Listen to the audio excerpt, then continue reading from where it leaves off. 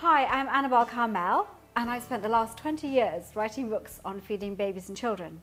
But now that my children have grown up, and this is my youngest daughter, Scarlett, I've put all my favourite family recipes into one book so that everybody can share them. Um, this is my book, Annabel's Family Cookbook.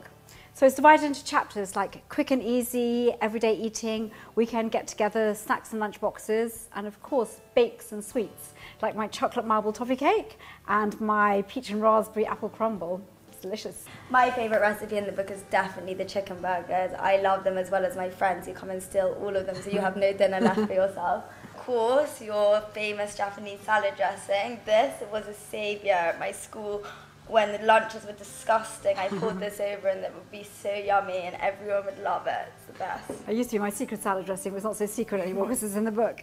Anyway, we thought we would show you how to make one of the quick and easy recipes. And this is one of your favourites. Yeah. I'm going to make a vegetable fusilli. So we started cooking the fusilli pasta and um, Scott's going to add now the broccoli and the peas. Mm -hmm. It's cooked for about five minutes already. And if we put those in, we need to cook them for about three or four minutes because you want them to be quite crisp. Then you can get the spoon and stir it. You ready for the peas yet? Then again, this goes in straight away. Okay. Oh, just well. I'll just stir them. So we're only going to cook these for a few minutes because we don't want them to be overcooked. And it saves time if you cook the vegetables in with the pasta.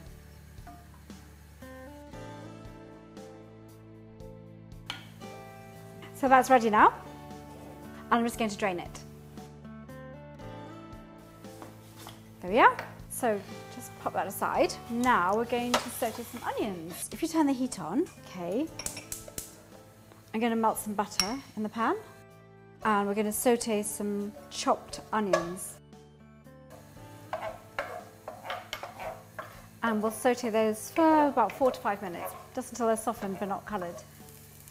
Okay, okay? Okay, I'll speak slow. Yeah. So I think that looks ready. Yeah. Yep. So here's some garlic.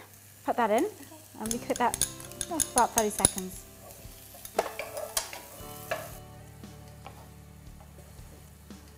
Okay, so now I'm going to pour in the vegetable stock.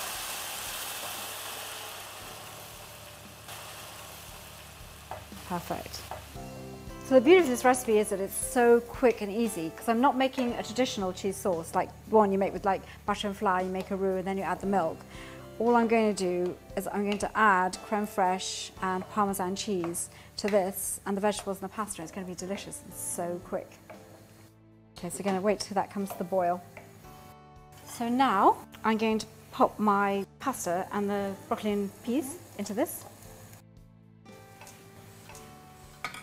That looks good. You like broccoli, don't you? It's one, yeah, it was always one of your favourite vegetables, I think. Okay, now you can add the tomatoes. Yeah? Give it a stir. Perfect. This is freshly grated parmesan, which I love. Gonna add that. Yeah, put it all in. I'm going to put in some creme fraiche. I love creme fraiche. I think it's much nicer than cream. So this is this makes your cheese sauce. It's so easy. You do everything in one frying pan. Final touch, a little bit of seasoning, a bit of salt, and some black pepper. That's it, to be honest, that's ready. We're going to serve it up.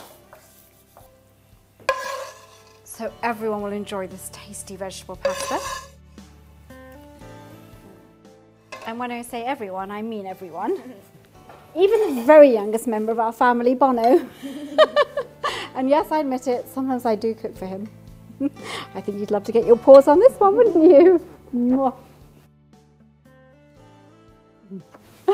Okay, let's have a taste.